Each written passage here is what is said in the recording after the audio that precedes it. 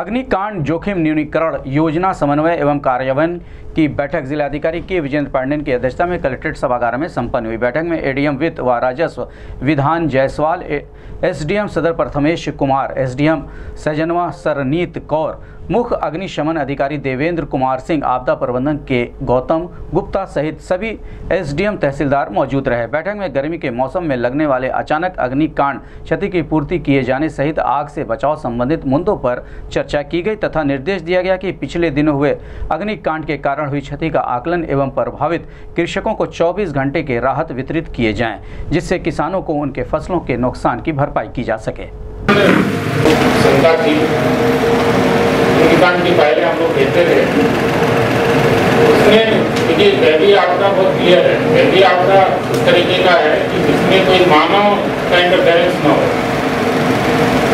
आंधी चली अगर कहीं चिंगारी लगी हुई है, तेज हवा चली उड़ के फिर उसने छप्पर में आग लगा दिया, फिर वहाँ से जानवर है उसका सामान जल गया, घर वो आपका कैदी आपदा में सम्मिलित हो अगर आप अपनी रिपोर्ट में मात्र ये लिखते हैं कि अज्ञात कारण अज्ञात कारण अपने आप में कोई आपदा नहीं है? आपको उसको जस्टिफाई करना होगा कि किस तरीके से वास्तव में प्राकृतिक आपदा है?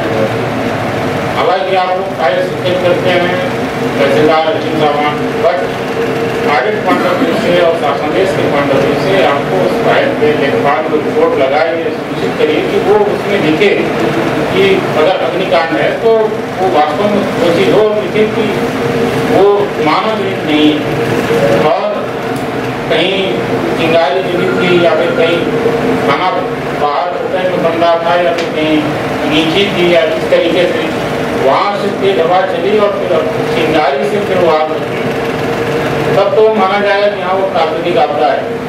अगर आप कहेंगे कि वो घर में खाना बना रहे थे, उससे अचानक आग लग और से जो फ़सलों का नुकसान हो गया, घर में रखा सामान जल गया तो वो सम्मिलित नहीं होगा फिर वो आपका यदि आपका श्रेणी में नहीं होगा। ऐसे लाभ दिए जाने में कोई दिक्कत नहीं है। पैसा सीट तुरंत मिल जाता है। टीआर ट्वेंटी सेवन से भी जैसा बाल गाँव में अभी पिछली बार ओलावृष्टि हुई थी।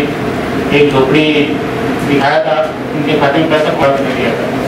दूसरा जो कांड में बार बार मैं आप लोगों से अनुरोध कर रहा हूँ फाइलें भी पिछली बार इतने विलम्ब से फाइलें आती हैं, उसका मकान जल गया झोपड़ी में आग लगती है, वो किस तरीके से दैवीय आपदा में, कि ठंड में, और कैसे आग लग जाती है, समझ नहीं आता। दूसरे रिपोर्ट भी प्रॉपर नहीं होती है, तीसरा वो चार छः महीने बाद वो आता है। इसी तरीके से स्वीकार नहीं है। फिर वो आपदा के साथ अगर चार महीने छः महीने बाद अगर दे रहे हैं तो इसलिए समझ नहीं आता।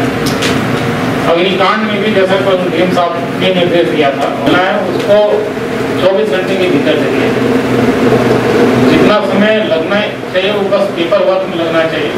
पेपर वर्क कंप्लीट होके जो विभिन्न मद हैं, उनमें अगर कोई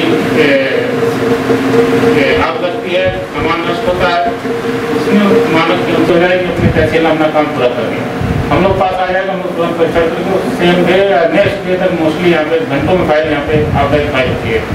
वो डिस्प्ले ऐसा बात हो रही थी इसमें अग्निकांड में भी अगर फ़सलों की क्षति होती है खलिहान दुर्घटना योजना जैसे मंडी में के द्वारा संचालित हो रही है।